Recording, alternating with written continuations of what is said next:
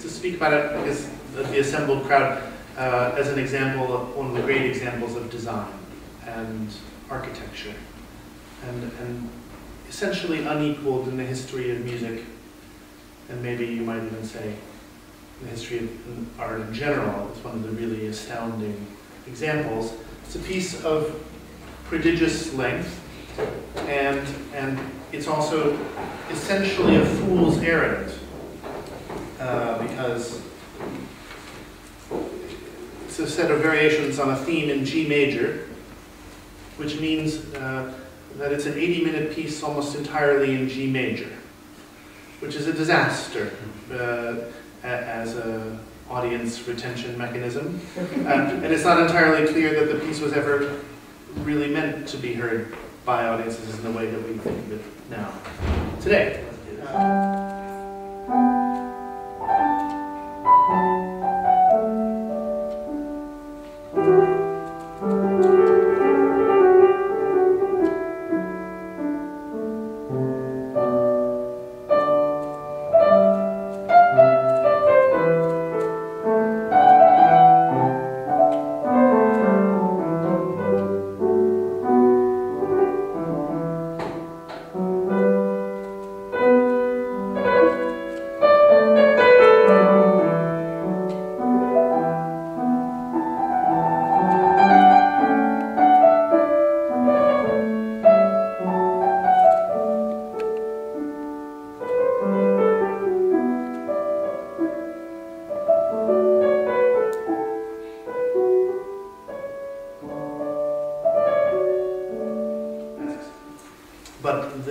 variations are built not on the Phillips and the arabesques or any of that, but on the, on the structure, which is the bass line, the harmonies, uh, which you might say is the DNA the theme. And the bass line goes in, in, in four parts, uh, each of which has its counter, its counterweight.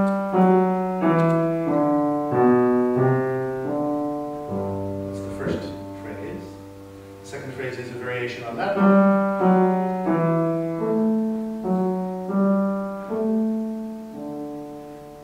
third is a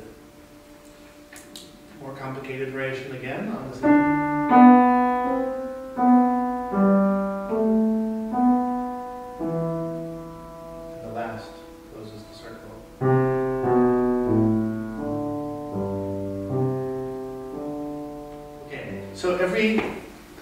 Lost sight of the big picture here.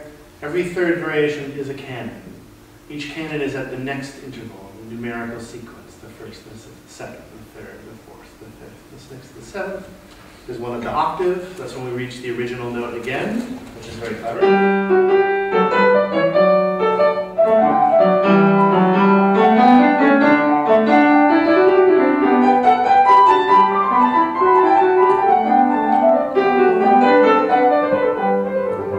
Then we get to the, we get even past the octave, we get to the, the ninth, which is um, the most simple one actually of them all.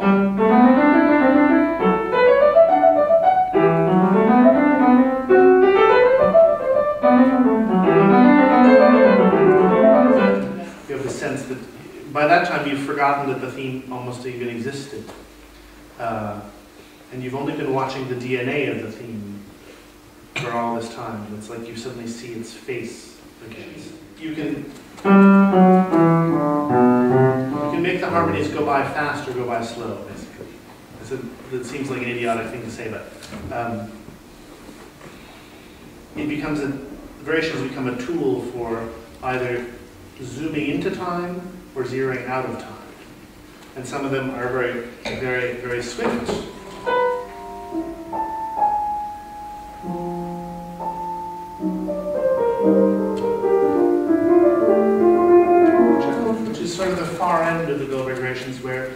you're as lost as you possibly imagine yourself ever to be. Um, and, and that's obviously a piece like Nora, which is kind of a labyrinth. Uh, themes of lostness and foundness are a huge, huge part of it.